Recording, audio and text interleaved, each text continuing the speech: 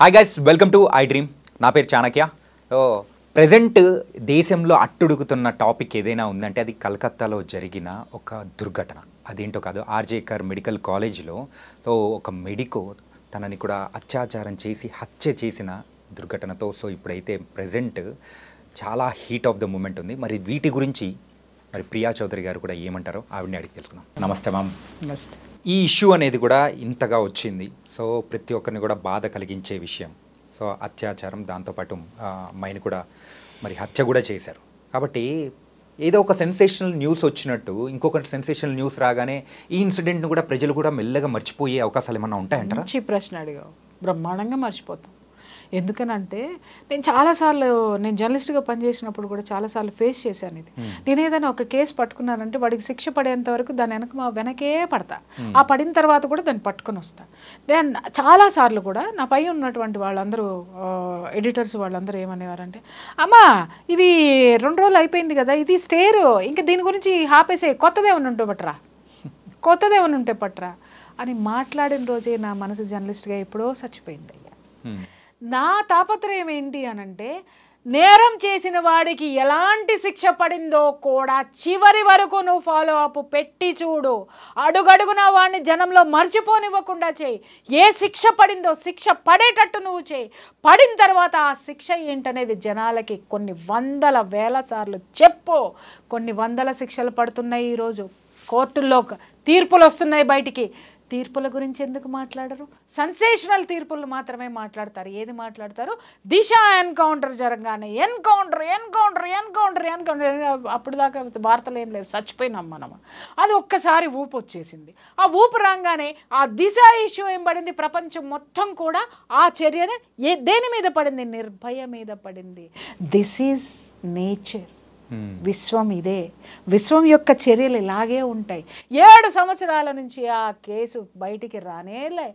లాగుతున్నాడు లాగుతున్నాడు. ఇందాక నేను అన్నాను చూసావా?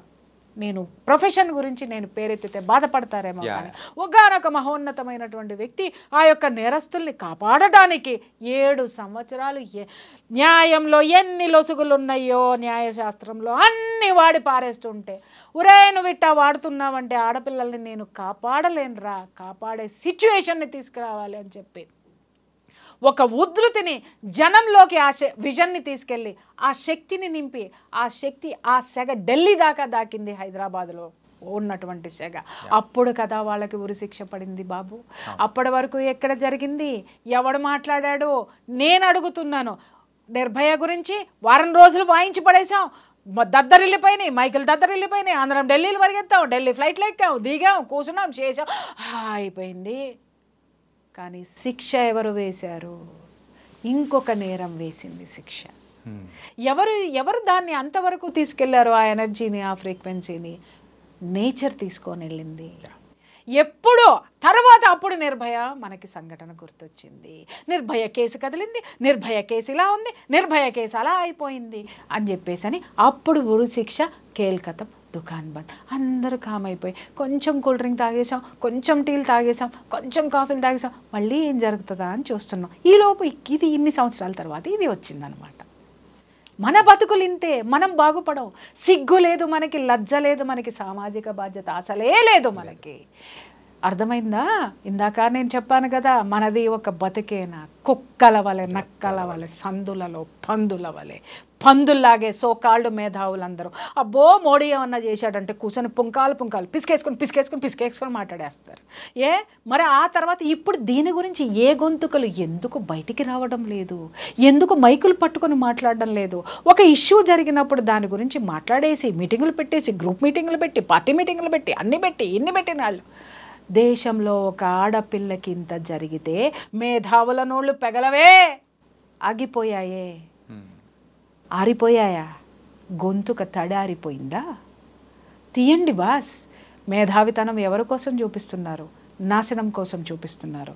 దేశ దేశం యొక్క ఆ భద్రతని భ్రష్టు పట్టించడానికి దేశం యొక్క విలువని దిగజార్చడానికి మాత్రమే ఈ మేధావుల గొంతుకలు పనిచేస్తున్నాయా?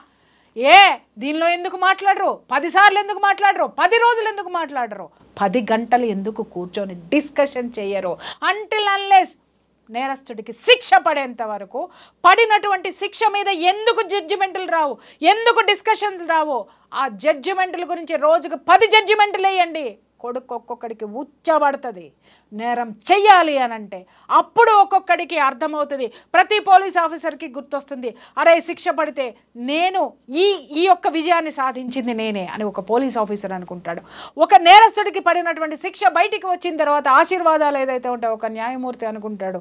నేను న్యాయాన్ని కాపాడినటువంటి ఆ యొక్క స్థితి ఆ ఉన్నతమైనటువంటి స్థితి కలిగిన వాడిని అనుకోని. అతనిలో ఎనర్జీ పెరుగుతుంది వీటిలో ఎనర్జీ పెడుతుంది సమాజంలో ఒక భయం అనే ఎనర్జీ పుడుతుంది.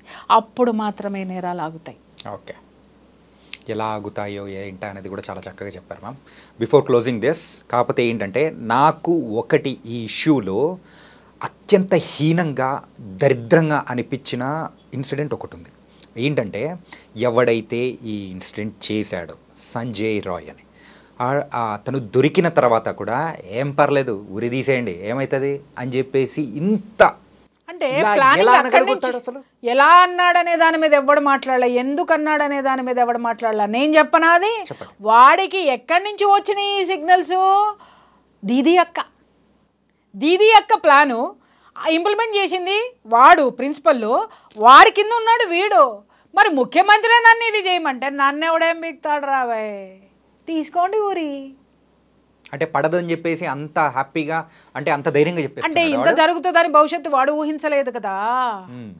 నేచర్ వాడికి ఇంత భయంకరమైన శిక్ష వేస్తుంది. వాడికి కాదు శిక్ష ఇది. The great కాలాదీదీకి. కాలాదీదీకి ప్రకృతి వేసినటువంటి శిక్ష కాండ్రించి ఉమ్ము ఊహించుకునేటటువంటి శిక్ష ఈరోజు ప్రకృతి కాలాదీదీకి వేసింది. కలకత్తా కాలాదీది. కాబట్టి ఎవరైతే ఉన్నారో ఎందుకు మాట్లాడారు అని అంటే స్కెచ్ అక్కడి నుంచి వచ్చింది కాబట్టి వాడిని ఎవడు ఏం పిక్తాడు? ఇప్పుడు ఏడు వేల మంది ఆ ప్రొటెస్ట్ జరుగుతుంటే దాంట్లోకి వెళ్ళిపోయి విధ్వంసం చేసి అవతల పారేశాడు. ఏ తూచి తూచి తూచి తూచి అన్నారు. ఇది తూచి కాదురావే నేను చెప్తున్నాను కదా ఆట ఇప్పుడే మొదలయ్యింది. అంతం ఖచ్చితంగా ప్రకృతి చేతిలో డెఫినెట్గా ఉంటుంది. ఓకే. సో ఇంకా చాలా మాట్లాడేది ఉంది. ఇంకా మనం మాట్లాడుకుందాం మ్యామ్. కానీ ఏంటంటే ఈ రోజుటికి మాత్రం thank you thank you so much కాకపోతే ఏ యాంగిల్ నుంచి ఎటు వచ్చినా కానీ సో దానికి వెనకల ఏ ఏ అంటే ఎవరుంటారు ఏంటి అనేది కూడా మీరు చాలా నీట్గా కూడా ఎక్స్ప్లెయిన్ చేసి చెప్పారు. So thank you thank you so much Priya Chowdary గారు. Thank you yeah so guys ప్రతి ఒక్కరు కూడా మరి ఈ ఇన్సిడెంట్ గురించి తలుచుకున్నారంటే ఖచ్చితంగా గుండె తడి. ఆ ఖచ్చితంగా కంట్లో నుంచి నీరు వచ్చేది కూడా ఖచ్చితంగా ఉండే ఉంటుంది. అయ్యో అనుకున్న క్షణాలు కూడా మనకు ఉండే ఉంటాయి. కాబట్టి ఇలాంటివి మన ఇంటి వరకు కూడా రాకూడదు అని అనుకుంటే మనం కూడా సామాజిక బాధ్యతతో ఏదైనా కానీ తప్పులు జరుగుతున్నాయంటే ప్రశ్నించే అవకాశం అనేది కూడా మీరు తీసుకొని దాన్ని ప్రశ్నించారంటే మనం ముందుకి జాగ్రత్తగా వెళ్ళొచ్చు. భవిష్యత్ తరాలని కూడా మనం హ్యాపీగా ఉంచవచ్చు ఇది ఇవాళ ఇంటర్వ్యూ. మరో ఇంటర్వ్యూతో మళ్ళీ కలుద్దాం. అంతకు take care. This is your Chanakya. See you